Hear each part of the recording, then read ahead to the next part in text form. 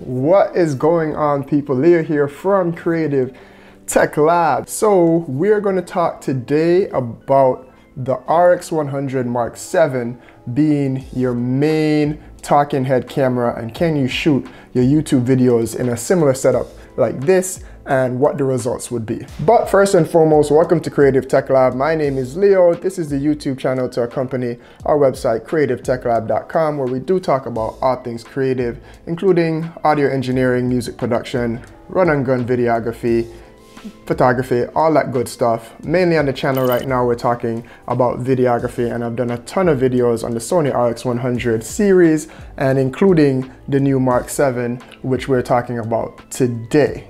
So the biggest addition to the Mark 7, or one of the biggest additions I should say, was the inclusion of the microphone input. And I have used this, the previous version of this camera to shoot all of my YouTube videos. And ironically, I don't normally shoot over here. I normally shoot in a different set if you've seen all my other videos, but all the videos this week have been shot over here. This is actually my dining room because I've been doing some unboxings. and I've been using a top down camera, which has been stuck to the chandelier um, and all that good stuff. But um, I've got a lot of comments on this particular setup um, from a few people, just because I think with the teals in the background in those circles behind me, when it is color graded and it gives this look right here, it gets a nice little look. And some people are asking me if I got a new camera, which I didn't. All those were shot on the 6. They were just color graded a little bit differently and could be used as a talking head shot. So you could 100 get, 100% get a Sony Alpha look out of this camera. I'll get into my settings on what I'm shooting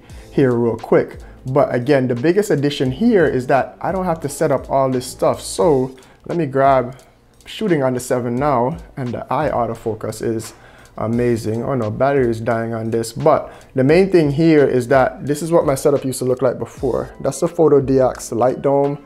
That's my Rode mic. Then I have this going into there and all that there. I don't have to do that anymore. Right now, hold up, let me just get another clip here.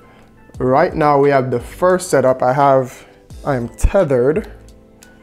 See, I'm tethered right here.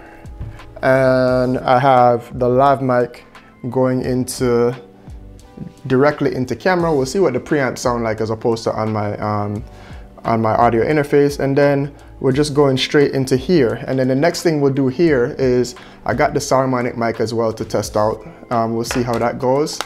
Battery just died on this, so we're just gonna keep running.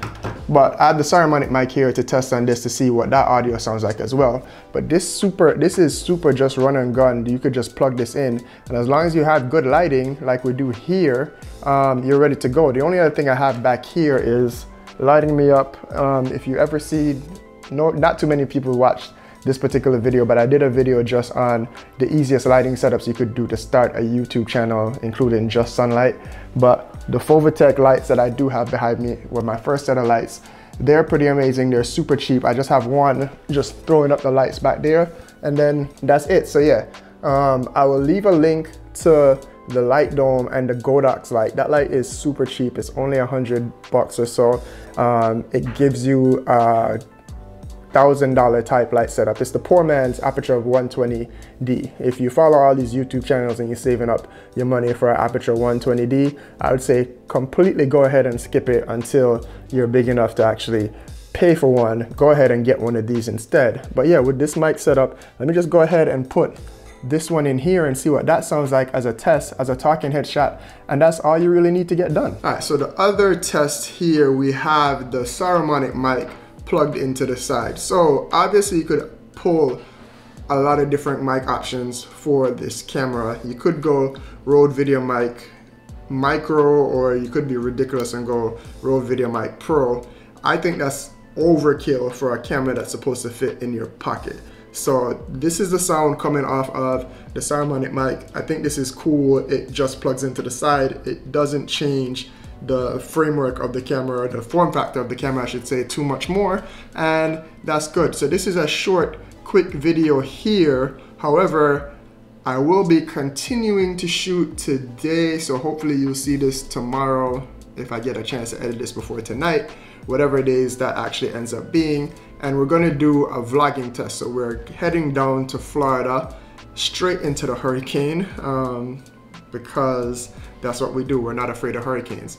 Um, so we're going to do a vlogging test of me just leaving from the house, getting the kids, going to the airport, all the way to Florida. And I don't normally vlog, but I know a lot of people are looking to this camera, especially now that it has the microphone input into it as a great vlogging option. So I'm gonna put it onto the the M2 as well, which we did the unboxing for. And we do a few more things when we're down to Florida. Hopefully we don't have super bad weather, but yeah, this is a quick just setup on how you could get pro grade looking image for your YouTube talking headshots with just a point and shoot camera and a cheap light and get it done. So I will catch you in the next video. Again, if you like this video or it helps you out in any particular way, inspired you to go get started on your YouTube channel, go ahead, hit the like button. Let me know what kind of setups you have for your talking headshots in your YouTube videos and I will catch you in the next one.